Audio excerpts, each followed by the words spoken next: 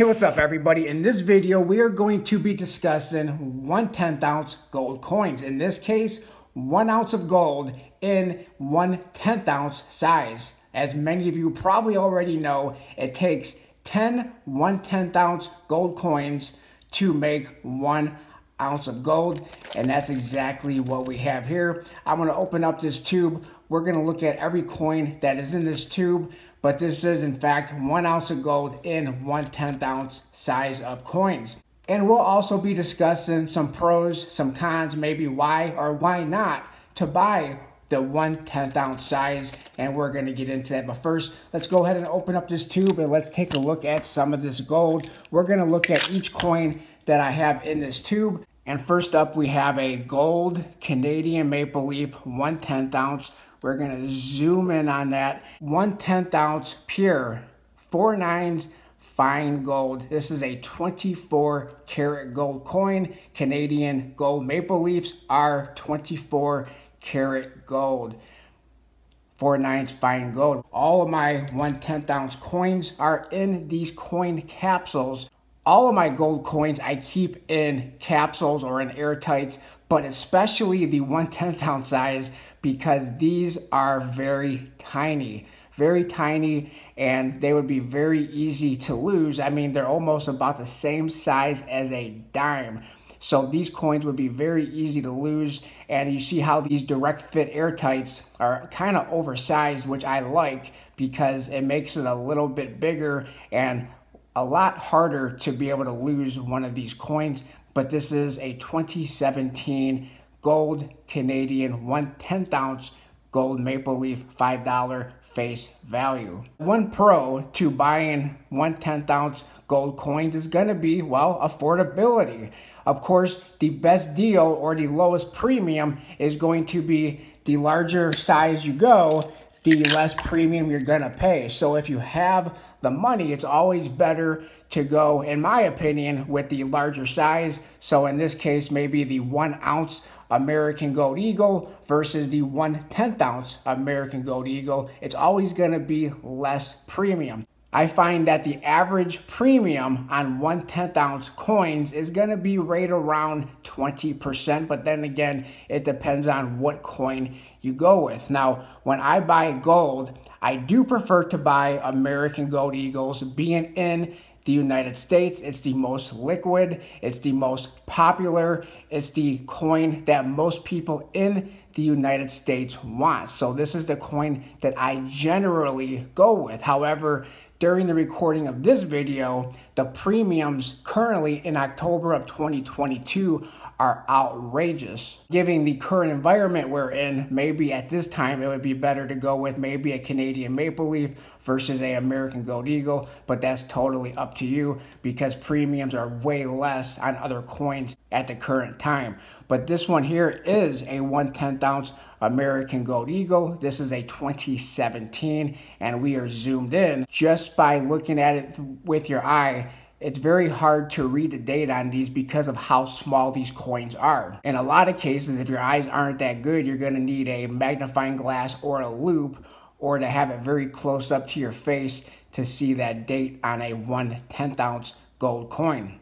The American Gold Eagle is 22 karat gold. It's still 1 10th ounce of gold, and it still takes 10 of these, just like the Canadian Gold Maple Leaf, to make up one ounce of gold.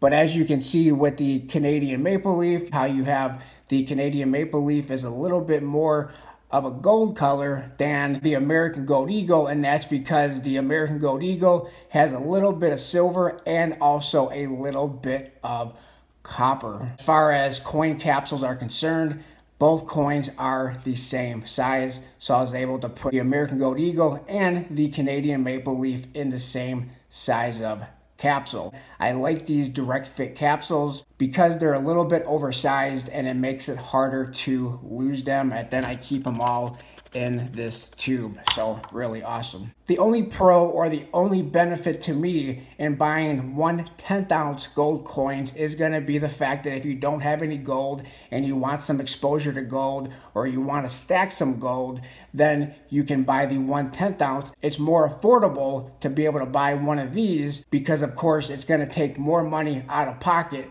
to be able to buy a one ounce, a half ounce, or my favorite is actually the quarter ounce American Gold Eagle. So here's the Canadian Maple Leaf 2017. We have a 2017 American Gold Eagle.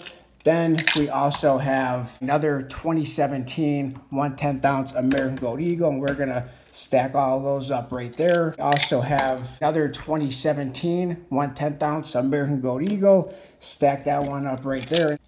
Then we have a 2016 1 ounce American Gold Eagle. And here we have another 2016 1 10th ounce American Gold Eagle. Most of my gold is going to be American Gold Eagles. However, some of them are different. Here we have, what is this date? This is a 2005 1 10th ounce American Gold Eagle. Zoom that out just a little bit. We're getting down to the very last couple. And then we have another, what is this? 2013 it looks like American Gold Eagle. See, it's a little hard on some of these to see the dates, but it looks like that is a 2013 1 10th ounce American Gold Eagle. This one is a 2015 1 10th ounce American Gold Eagle. And then this one is one of the first gold coins that I ever purchased I think this might have been the second or third gold coin that I ever bought. And this was, what year is this? The year of the dog Perth Mint Lunar 2018 110th ounce. This is the only Perth Mint Lunar gold coin that I have. And once again, just like the Canadian Maple Leaf, this one is also 24 karat gold, pure gold.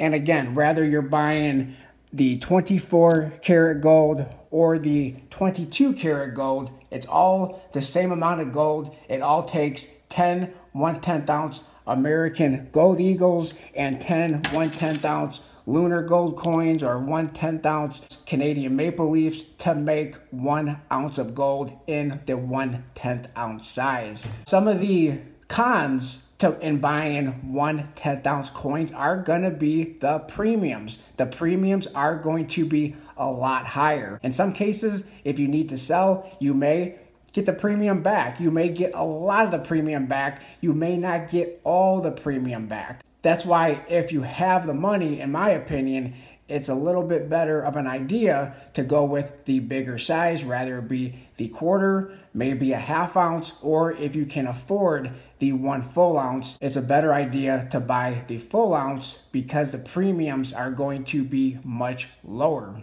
You kind of have to weigh the affordability, the amount of money that it takes out of pocket to be able to buy a 1 10th ounce or a quarter ounce versus buying a 1 ounce versus the premium that is on these coins. I believe at the current time, the premium on a 1 10th ounce American Gold Eagle is going to be right around 30%, which is a very high premium. All the 1 10th ounce gold coins that I have here, I bought between the years of 2017 and 2018. I haven't bought a 1 10th ounce gold coin in a very long time. My average cost in one tenth ounce gold coins. All these coins that you see here is about 155 to 160 dollars per coin because I bought these when gold spot price was between 12 and 1300 dollars per ounce. Now, $160 times 10,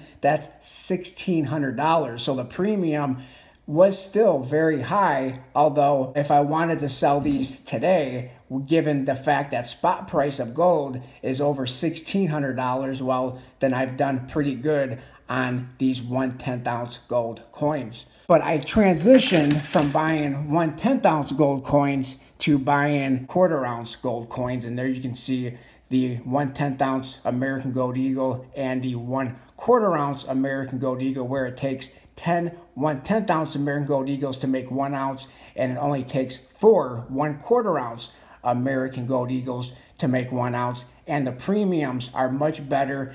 Affordability is a little bit harder on the quarter ounce, of course, because it's a bigger coin, it's more gold, so affordability, it, it takes a little bit more savings to save up for the quarter ounce, but less time to save up for the quarter ounce than the one ounce and the quarter ounce is going to have a much better premium on the quarter ounce than on the one tenth ounce. So let me know in the comment section below what are your pros, what are your cons between buying one tenth ounce gold coins, quarter ounce gold coins. Do you prefer to buy the one ounce gold coin? Which kind of gold coin do you buy? Which kind of gold coins do you stack? What size do you buy? What size do you like? For me, if I have the money, I would rather go one ounce. But if I don't have the money and I just want to buy a gold coin at any given time, I prefer to go the quarter ounce over the one tenth ounce. Let me know what you think in the comment section below. Thanks everybody for watching. Like, comment, subscribe, share, and I'll talk to everybody on my next video.